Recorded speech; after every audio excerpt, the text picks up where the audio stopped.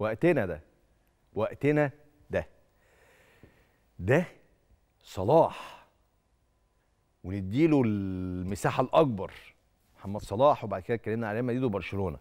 بس الأسبوع ده بالنسبة لمحترفينا المصريين أسبوع ناصع البياض والجمال. حاجة مفيش بعد كده روعة. حاجة مفيش بعد كلهم. أي واحد اسمه مصري بيسجل وبيبدع.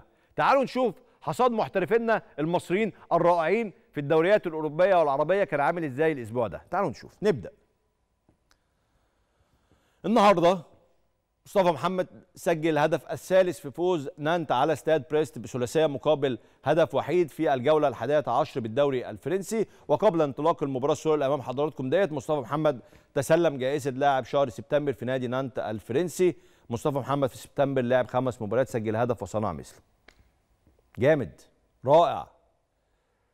تعال نروح للرائع الثاني محمود حسن تريزيجيه سجل هدفا في تعادل فريقه ترابزون مع بشكتاش بالجولة العاشرة من الدوري التركي وجاء الهدف في الدقيقة 36 وكان هدف التقدم الثاني لترابزون لكن بشكتاش عادل النتيجة. رائع وكبير. أحمد حجازي. أحمد حجازي قاد فريقه اتحاد جدة للفوز على الوحدة بهدف نظيف. سجله حجازي من رأسية رائعة في الدقيقة 80 من عمر المباراة التي شهدت مشاركة أيضا المحترف المصري الآخر الكبير طارق حامد. تعالى لسه مكملين مع حضراتكم. امبارح بقى امبارح عمر مرموش سجل هدف رائع رائع رائع رائع في الدقيقة 59 من مباراة فريقه فولفسبورج أمام مونش جلادباخ في المباراة اللي انتهت بهدفين لكل فريق وتمكن مرموش من تسجيل هدف التعادل لفريقه في الدقيقة 69 لسه خل... لسه ما خلصناش لسه مكملين. معانا كمان معانا. أحمد حسن كوكا يوم الجمعة سجل هدف فريقه ألانيا سبور على أنطاليا سبور بثلاثة أهداف مقابل هدفين في الجولة العاشرة بالدوري التركي وجاء هدف كوكا في الدقيقة 44 وكان هدف التقدم لفريقه. إيه الحلاوة دي؟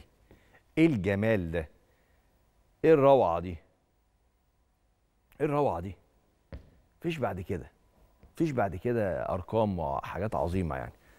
آه ده لسه ده في محمد صلاح كمان. بس محمد صلاح اتكلمنا عنه كتير ف بس نكمل. ده الأسبوع بتاع المحترفين.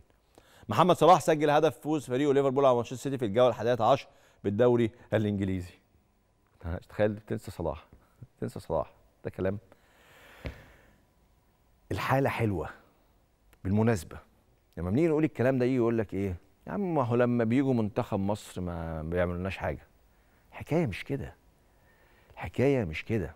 منتخب مصر ده اتكلمنا كتير عشان بس ما اخشش في فرعيات. منظومة وتفاصيل ودوري منتظم وما يبقاش فيه إيقافات للدوري ويبقى فيه تنظيم للمنتخب ويبقى فيه استقرار في الأجهزة الفنية ويبقى فيه مجموعة لعيبة منسجمة. بس بص لها من الناحية الثانية يا جماعة ده بيتقال عليه اللاعب المصري في الدوري اللي بيلعب فيه المصري. هتقول لي يعني مش فاهم ما اللاعب المصري إيه اللي إيه اللي هيفيدني أنا؟ تفيدك كتير.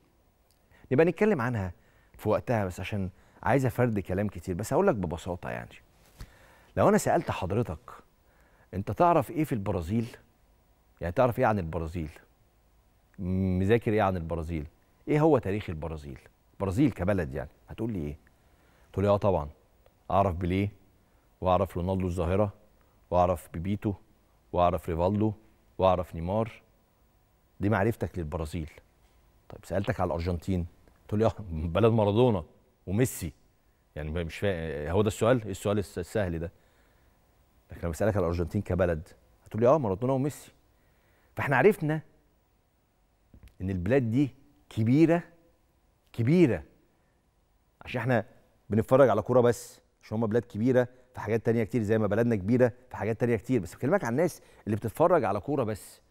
بيعرفوا أسماء الدول وإنها كبيرة وإنها دولة رائعة و و من نجوم الكورة. من نجوم الكورة.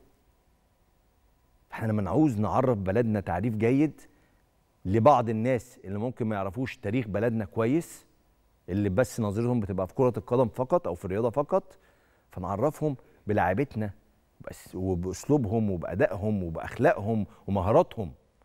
عشان كده الحاجات دي مهمة جدا. ل 80 تفريعة. ل 80 تفريعة بقى ممكن نقعد نتكلم عنها سنين بس مش عايز أطول. أحرقكم عشان لسه هنتكلم النهاردة على المباريات الرائعة في أوروبا.